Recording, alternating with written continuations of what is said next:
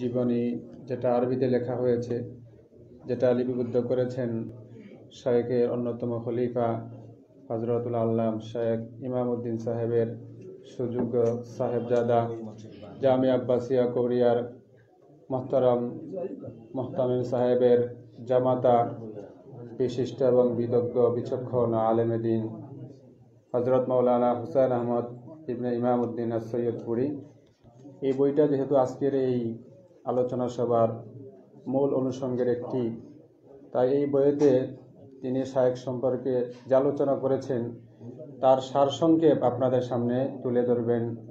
জামি আব্বাসিয়ার senior মুহাদ্দিস হাফেজ মৌলানা মুফতি আব্দুল হামিদ সাকিব সাহেব।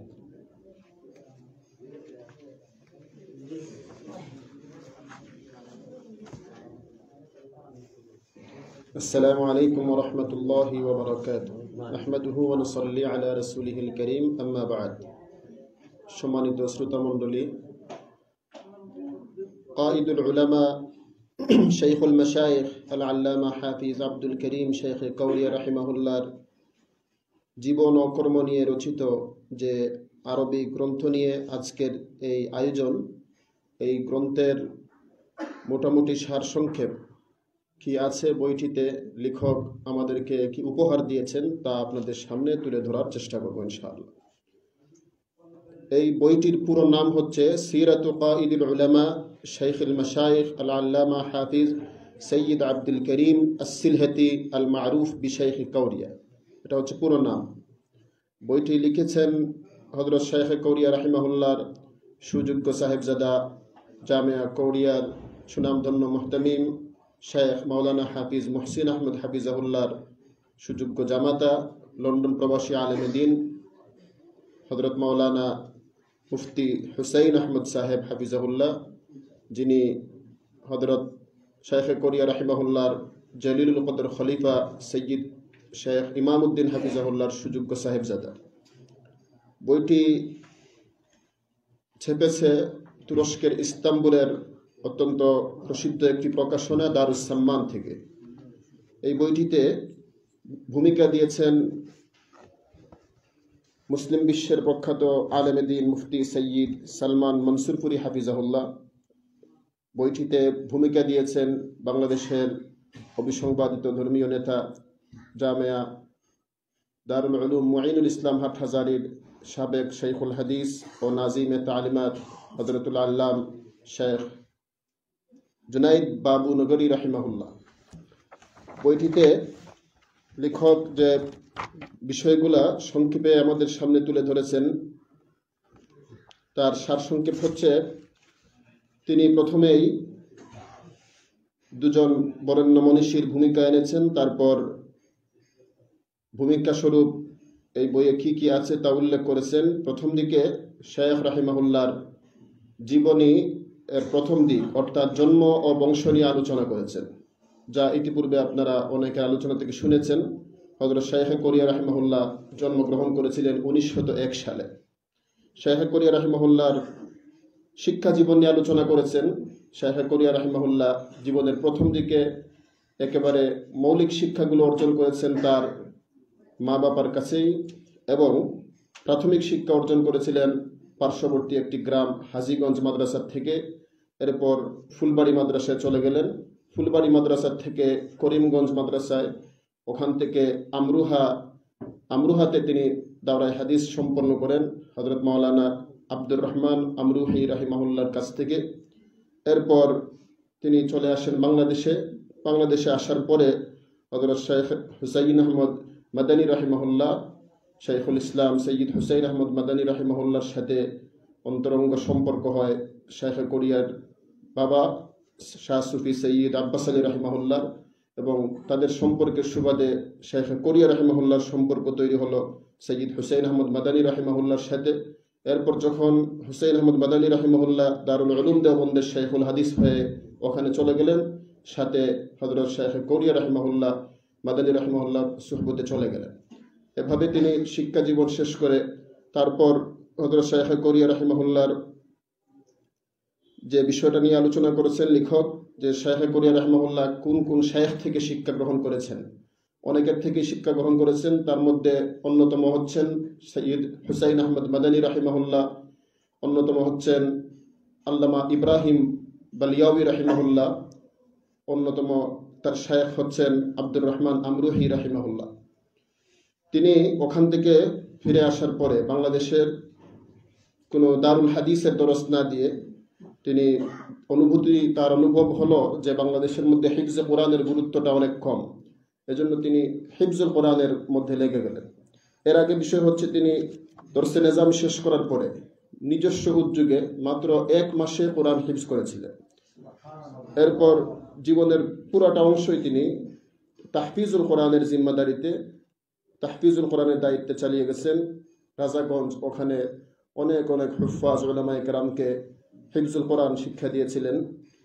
এভাবে তার কর্মজীবনের গুরুত্বপূর্ণ একটা অধ্যায় হচ্ছে বাংলাদেশের সুপ্রাচীন কৌমি মাদ্রাসা শিক্ষা বোর্ড আজাদ দিনিয়া তালিম বাংলাদেশ।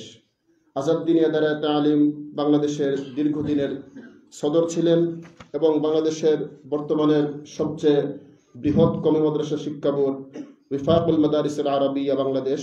এই উফাকুল মাদারিসের আরবিয়া বাংলাদেশের প্রতিষ্ঠাতা যারা ছিলেন, অন্যতম ছিলেন হজরত শাহ কৌরিয়া রাহিমাহুল্লাহ। লেখক যে বিষয়টা আলোচনা করেছেন, তার মধ্যে একটা হচ্ছে হজরত শাহ কৌরিয়া রাহিমাহুল্লার অন্যতম বাগান, জামিয়া ইসলামী আব্বাসিয়া কৌরিয়া, যে বিশাল এই মাদ্রাসা, প্রায় শত বিঘা আয়তনের সুবিশাল এই মাদ্রাসাটি হজরত শাহ কৌরিয়া রাহিমাহুল্লার হাতে রচিত। আজ এই শাহ কৌরিয়া রাহিমাহুল্লার এই বিশাল বাগানটি আলহামদুলিল্লাহ পুরা বাংলাদেশের মধ্যে না, বরং পুরা পৃথিবীতে একটা প্রসিদ্ধি লাভ করেছে। শাহ করিয়া রাহিমাহুল্লার আরেকটা বড় কিরদার হচ্ছে যেগুলো আমাদের জানা নেই। তার অনেকগুলো মোয়াল্লাপাত আছে, অনেকগুলো রচনাবলী আছে, তার লিখিত সহস্তে লিখিত। এর মধ্যে গুরুত্বপূর্ণ যে রচনাটা হচ্ছে, হাদিস জগতের একটা গুরুত্বপূর্ণ কিতাব হচ্ছে সুনানুত্তিরমিজি। এর একটা ব্যাখ্যা গ্রন্থ আরবি ব্যাখ্যা গ্রন্থ শেখ করিয়া রাহিমাহুল্লার হাতে লেখা আছে, আলহামদুলিল্লাহ। ওখানে লিখতেছেন লেখক যে এটা রানাপিং মাদ্রাসায় আছে, আমার জানা নেই কোথায় আছে। এখন আমরা আশা রাখি, স্বপ্ন দেখি, এই তিরমিজির সরাটা একদিন আমাদের সামনে ছাপবে ইনশাআল্লাহ। এভাবে হজরত শাহেখ করিয়া রাহিমাহুল্লাহ তার হাতে লিখিত শাহী মুসলিমের আরবি একটি সরাও আছে। শাহেখ করিয়া রাহিমাহুল্লার হাতে লিখিত সহি মুসলিমের একটা উর্দু সরাও আছে ব্যাখ্যা গ্রন্থ তিনি লিখে গেছেন। রাজনৈতিক জীবনে তার ভূমিকাটা কি ছিল ইনশাল্লাহ আপনারা পুরোপুরি উলামায় কেরাম থেকে শুনবেন। এছাড়া রাজনৈতিক জীবনে তো উনি জমিয়ত উলামা ইসলামের জন্য তার পুরাটা জিন্দগি কুরবান করে গেছেন। আমাদের সামনে তার যে রেখে যাওয়া আমানতগুলোর অন্যতম একটা হচ্ছে জমিয়ত উলামা ইসলাম এবং তার গুরুত্বপূর্ণ কিরদারের মধ্যে একটা হচ্ছে কাদিয়ানিয়তের বিরুদ্ধে। হতমে নবুয়তের জন্য তিনি আন্দোলন সংগ্রাম করে গেছেন। তার জীবনের গুরুত্বপূর্ণ একটা দিক হচ্ছে এই এহসান ও তাজকিয়া। এহসান ও তাজকিয়ার জগতে একজন অন্যতম রাহবর ছিলেন। বাংলাদেশের বড় বড় শেখুল হাদিস বৃন্দ যারা আমাদের থেকে অনেকে চলে গেছেন, অনেক খোলাফা একরাম তার ছিলেন। অনেক খোলাফাদের লিস্ট এখানে কিতাবের মধ্যে নিয়ে এসেছেন। এখন আলহামদুলিল্লাহ আমাদের সামনে হজরতের জলিলুল কদর খুলাফা বৃন্দ উপস্থিত আছেন। এখানে উপস্থিত আছেন শৈখুল হাদিস আল্লামা মহিবুল হক গাসবারি হাফিজাহুল্লাহ শৈখুল হাদিস আল্লামা অধ্যাপক মহিবুর রহমান হাফিজাহুল্লাহ আরও অনেকেই আছেন, আলহামদুলিল্লাহ।